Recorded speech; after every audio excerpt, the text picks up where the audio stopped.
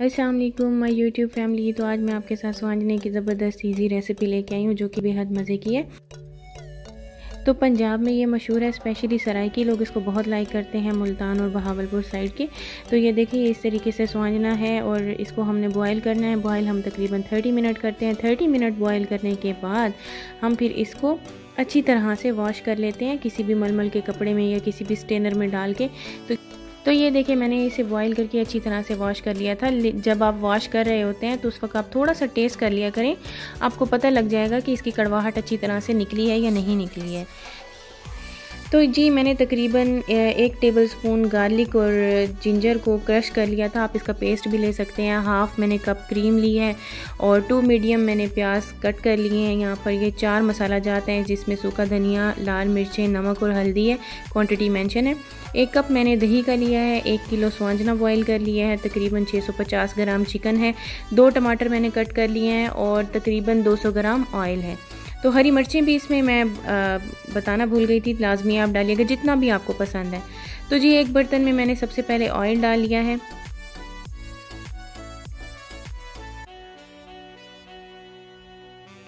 यहाँ पर आप 200 ग्राम ही ऑयल को लीजिएगा, क्योंकि जब हम स्वांजना डालेंगे तो ये ड्राई होने लगेगा। तो देखिए, मैंने इसमें प्याज सबसे पहले डाले हैं और इसको मैं तकरीबन गोल्डन ब्राउन कर लूँगी।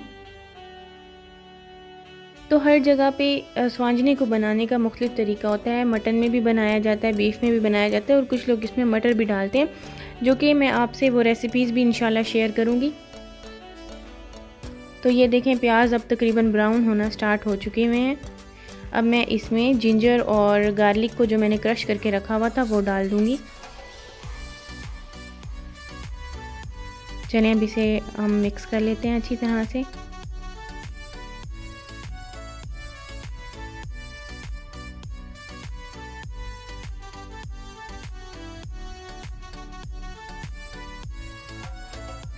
देखिए अभी अपना कलर चेंज करना स्टार्ट हो गया है तो अभी इस पॉइंट पे हम इसमें टमाटोज़ को ऐड कर देते हैं।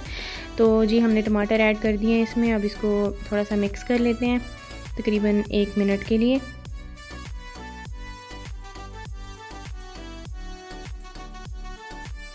चलें जी, अब ये देखें, एक मिनट के बाद अब मैं इसमें डालूँगी तमाम मसाला जात। ये हमारे बेसिक मसाले जो हर घर में होते हैं। अब अच्छी तरह से इसको मिक्स कर लेते हैं।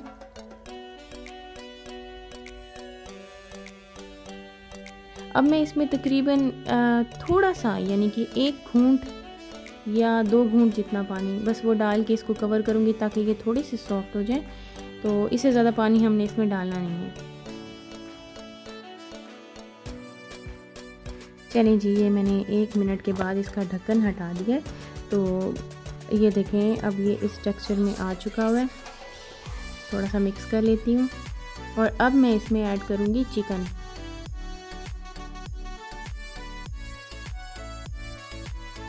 ये देखें, मैंने चिकन डाल लिया और थोड़ा सा इसको एक दो मिनट के लिए भूनूँगी और साथ ही इसमें हरी मिर्चें डालकर इसको कवर कर दूँगी।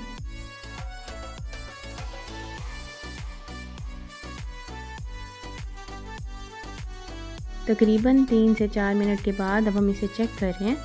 तो ये देखें गोश्त जो है वो तकरीबन 80 टू 85 परसेंट तक गल चुका हुआ है।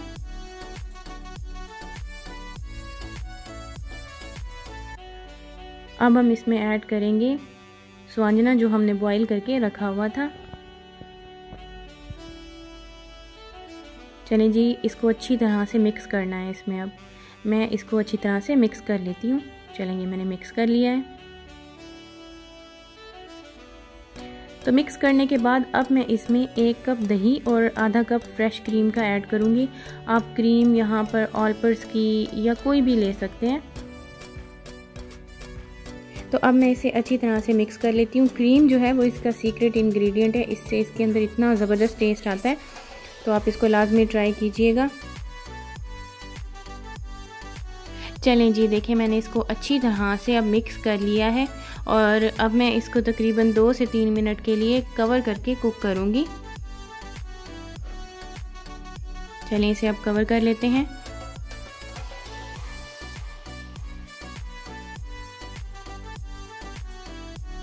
चलें जी, ये देखें, यहाँ पर अब दही ने अपना पानी छोड़ दिया है और इसको मैंने अभी ड्राई करना है तो यहाँ पे पहले मैं इसमें धनिया ऐड कर देती हूँ। अब मैं इसकी भुनाई करूँगी ताकि पानी अच्छी तरह से ड्राई हो जाए और इसका ऑयल निकल आए। ये देखिए, पानी अब ड्राई तकरीबन हो चुका हुआ है और ऑयल भी निकलना स्टार्ट हो गया है। चलें, अब ये फाइनली बन चुका है। अब हम इसे प्लेट आउट करते हैं। आई होप आपको ये वीडियो अच्छी लगी होगी तो इस सर्दियों की सौगात को लाजमी ट्राई कीजिएगा।